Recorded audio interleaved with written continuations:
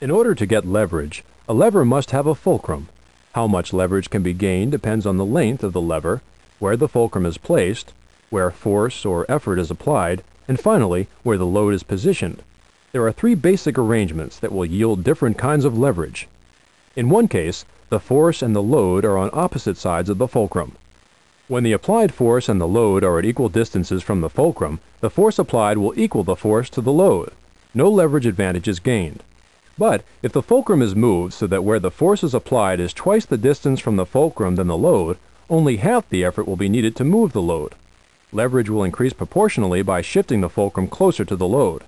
This proportion is called mechanical advantage.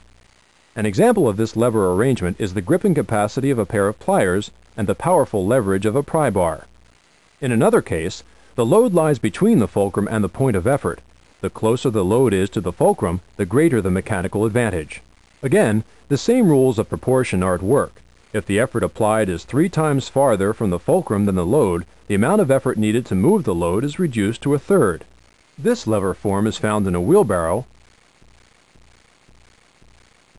and a nutcracker. In the third case, the force is applied between the load and the fulcrum.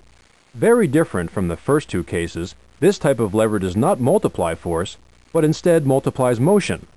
The load experiences less force than the effort, but moves a proportionately greater distance, as with a fishing rod pulling a fish, or a pair of tweezers grasping an object. For all these levers, what is gained in motion is lost in force. The larger force always moves through the smaller distance.